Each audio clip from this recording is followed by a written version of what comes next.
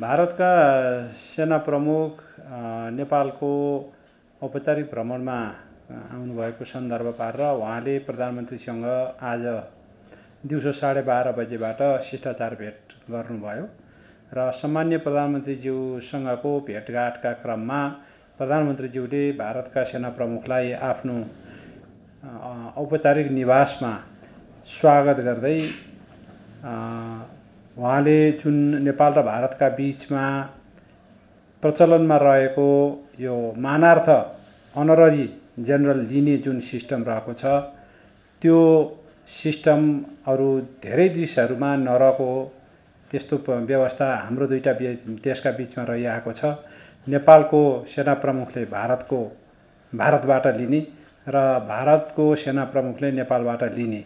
यो परम्परालाई निरन्तरता दिने क्रममा तपाईँ यहाँ आउनुभएको छ। यस सन्दर्भमा तपाईँले जुन हिजो हाम्रो सम्मान्य राष्ट्रपतिज्यूबाट त्यो प्राप्त गर्नुभयो त्यसका लागि यहाँलाई बधाई छ। र यो एउटा युनिक परम्परा हो नेपाल र भारतका बिचमा रहिआएको। र यसका माध्यमबाट हामी कति नजिकका छिमेकी हौँ भन्ने कुरा हाम्रो सम्बन्ध कति नजिक छ भन्ने कुराको एउटा उदाहरण यो पनि हो भनेर उहाँले भन्नुभयो। र त्यसै सन्दर्भमा उहाँले नेपाल भारत धेरै हिसाबले नजिकका दुईवटा छिमेकी हुन्। हामी दुइटै मुलुकको सम्बन्ध राम्रो होस् भन्ने पक्षमा छौँ। नेपाल र भारतका बिचको सम्बन्ध राम्रो हुँदा नै दुवै मुलुकको हित हुन्छ भन्ने हाम्रो मान्यता छ। दुईवटा स्वतन्त्र सार्वसत्ता सम्पन्न मुलुकका बिचको सम्बन्ध पारस्परिक एक समानताका आधारमा पारस्परिक सम्मानका आधारमा अगाडि बढ्नुपर्छ र हाम्रा बिचमा नजिकको छिमेकी रहेका कारणले कतिपय समस्याहरू रहेका छन्। ती समस्याहरूको वार्ताद्वारा समाधान गरिनुपर्छ र नियमित वार्ता र संवादका माध्यमबाट विगतदेखि रहेका समस्यालाई समाधान गर्दै हामीले हाम्रो सम्बन्धलाई आजको युग सुहाउँदो र अहिलेको समय सान्दर्भिक बनाएर अगाडि लिएर जान सक्छौँ। अर्थात् यस सम्बन्धलाई अझ नयाँ उचाइमा पुर्याउन सक्छौँ। यो नै अहिलेको हाम्रो आवश्यकता हो र यसकै बाटोबाट हामी अगाडि जानुपर्छ भन्ने कुरा उहाँले राख्नुभयो।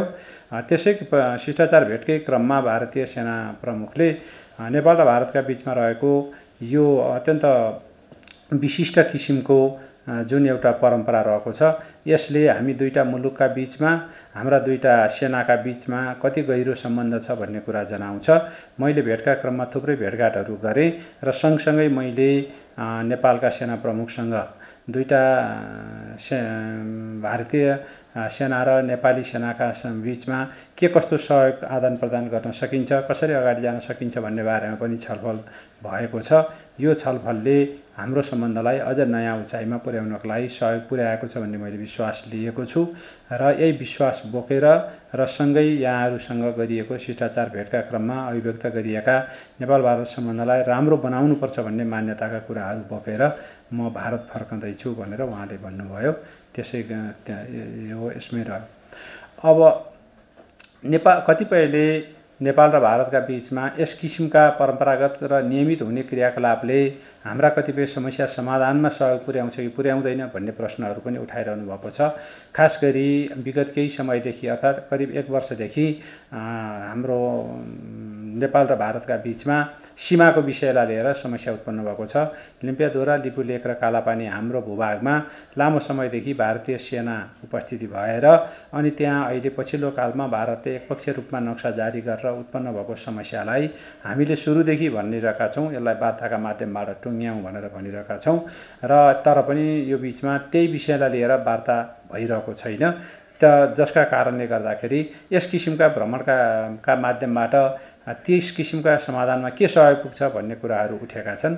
हाम्रो भनाइ के रहिरहेको छ भने यस्ता नियमित कामहरू नेपाल भारत सम्बन्धका नियमित कुराहरू भइआएका चलन चल्तीका कामहरूलाई निरन्तरता दिने क्रममा नै हामीले एउटा विश्वासको वातावरण बनाउँदै हाम्रा बिचका समस्या चाहे त्यो सीमाको होस् चाहे अरू विषयका हुन् ती समस्या समाधान गर्नका लागि सहयोग पुर्याउँछ भन्ने हाम्रो मान्यता रहेको छ र भोलिका दिनमा त्यो बाटोतर्फ यस्ता भ्रमणहरूले यस्ता नियमित हुने क्रियाकलापले त्यसतर्फ उन्मुख जानका लागि दुइटै मुलुकलाई प्रेरित गर्नेछ र त्यसका माध्यमबाट हामी समस्या समाधानमा पनि ठोस परिणामसहितको निष्कर्षमा पुग्न सघाउ पुग्नेछ भन्ने लागेको छ।